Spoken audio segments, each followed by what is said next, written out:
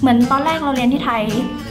เราก็งง แต่พอมาเรียนที่นี่เรากลับเข้าใจ topic เดียวกันนะ แต่ว่าตอนเรียนที่ไทยหนูรู้สึกว่าหนูงงมาก แต่ว่าพอมาเรียนที่นี่หนูก็รู้สึกว่าเฮ้ยทำไมหนูเข้าใจ รู้สึกแบบเก่งเรื่องนั้นเลยอะเวลาเขาสอนเขาอธิบายตรงจุดที่หนูไม่รู้ แบบว่าถ้าหนูไม่รู้อะไรหนูไปถามเขาได้อะค่ะทาสิการจิรนาถวันนี้ชื่อเล่นมินนี่ค่ะ เรียนอยู่ที่ Wellington East Girl College เอ่อ year 11 ค่ะ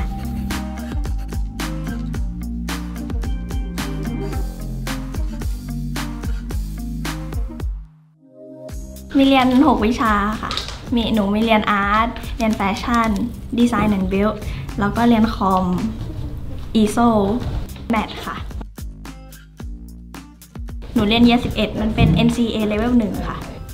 มันมีให้เลือกเป็นห้อง 100 กับห้อง 101แต่ว่าหนูอยู่ห้อง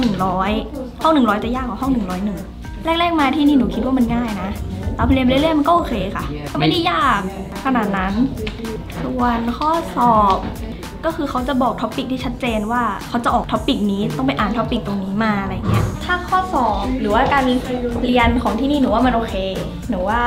เวลาเขาสอนเขาอธิบาย เวลาเขียนพวกเอเซเขียนอะไรพวกเนี้ยค่ะหนูไม่ค่อยเก่งแกมมาหนูก็เลยไปถามเขาให้เขาช่วยแล้วเขาก็จะสอนวิธีการเขียนของแกมมาส่วนของ EL เขาก็จะสอนวิธีการเขียนเกี่ยวกับภาษาอังกฤษ มีหนังสือให้อ่านด้วย แล้วก็ให้ทำเป็นกลุ่ม แล้วก็แชร์กับเพื่อน listening ทุกอย่างอะค่ะ แล้วก็สื่อสารกันตรงนั้นมากกว่าจด จดจดจดแบบนั้นนะคะ รู้สึกว่ามันสนุกกว่า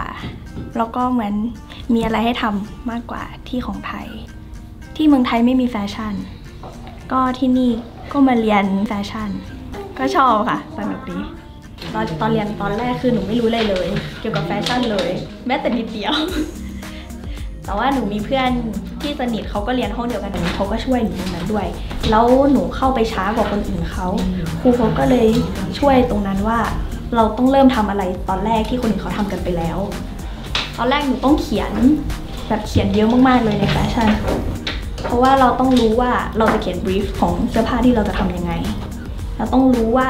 เราทำเพื่อใครทำทำไมสีอะไรอะไรอย่างเงี้ยค่ะต้องเขียนลิสต์ให้หมดเลยต อนนั้นมันก็หนักอยู่ เพราะว่าหนูก็ไม่รู้ว่ามันต้องเขียนยังไง แต่ว่าครูเขาก็ช่วยว่าเราต้องเขียนตรงนี้ แล้วเราก็ต้องมีกราฟเกี่ยวกับว่าเราจะใช้เวลาทำนานเท่าไหร่อะไรเงี้ย เพื่อจัดตารางเวลาการทำให้มันง่ายขึ้นด้วยเพราะว่าหนูจะได้มีแผนว่าหนูต้องทำตรงนี้แล้วนะอะไรอย่างเงี้ยค่ะ ส่วนตอนดีไซน์ อันนั้นหนูชอบเพราะว่าหนูก็ชอบวาดรูป แล้วครูเขาก็ชมว่าวาดรูปออกมาสวย อันนั้นหนูก็ได้ excellent แล้วก็งาน art หนูก็ต้องทำ portfolio ใหญ่ แล้วก็หนูมีเขียนพวกรีพอร์ตสามวิชา วิชาละแปดแผ่นค่ะหนูเลยรู้สึกว่าหนูต้องจัดการเวลาให้มันดีไม่งั้นก็ไม่ได้นอน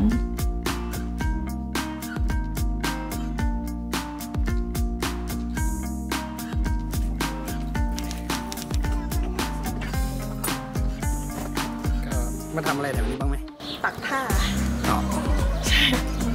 แล้วก็ไก่อยู่ด้านล่าง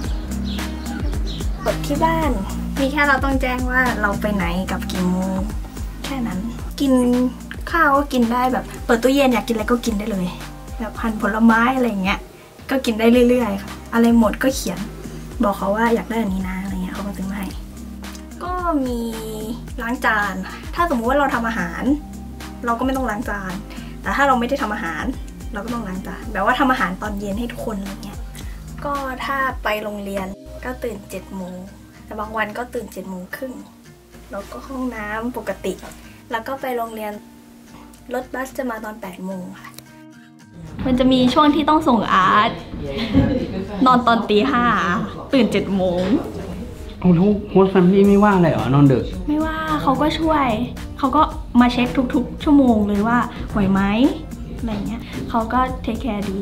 เขาก็บอกว่านอนก่อนไหมอะไรเงี้ย Yeah Google with you terrible. No, I was gonna say that too. No, she's very good. Very easy, fits into the family very well. She gets our funny sense of humour. หนูมีปัญหาอะไรเงี้ยหนูก็เดินไปบอกเขาได้เขาก็ช่วยค่ะ ลูกสาวคนโตเขาก็ต้องทำงานส่งเหมือนกันแต่ว่าลูกสาวเขาก็เรียนแบบอาร์ตอะไรอย่างนี้เหมือนกันเขาก็เข้าใจว่าเราต้องทำงานส่งนะ งานมันต้องเสร็จอะไรอย่างเงี้ยค่ะ ถ้าสมมุติว่า เราต้องนอนดึก แล้วเราต้องเพ้นท์อะไรอย่างเงี้ยค่ะ ถ้าที่บ้านปิดไฟแล้วเขาก็จะโคมไฟมาให้เรา เปิดโดยเฉพาะเพื่อดูให้แสงมันได้ เพราะว่าเวลาเพ้นท์ถ้ามันมืดเกินสีมันก็จะเพี้ยนใช่ไหมคะอ๋อที่บ้านหนูเขาเป็นบางสวิรัตแต่ว่าโฮสต์พ่อเขากินเนื้อสัตว์ได้ค่ะ เวลาเขาสั่งอาหารจากข้างนอกมาอย่างเงี้ยหนูก็สามารถสั่งได้ว่าหนูอยากเอาเนื้อนะอะไรอย่างเงี้ยค่ะ แต่ว่าเขาซื้อแฮมอะไรอย่างเงี้ยไว้ให้ทำแซนด์วิชไปกินค่ะ แซนด์วิชไส้อะไร Ham. ค่ะ แล้วก็ชีส แล้วก็ผัก แล้วก็ซอสมะเขือเทศพี่ชนก็บอกพี่ด้วยมีเพื่อนที่สนิทเป็นคนกีบีค่ะ ทุกคนดีมาก แล้วก็แบบเฟรนลี่น่ารักเขาน่ารักทุกคนเลยนะคำไหนที่เราไม่รู้เขาก็ช่วยบอกว่ามันคือเนี่ยนี้ ก็ดีชอบ ชอบมาก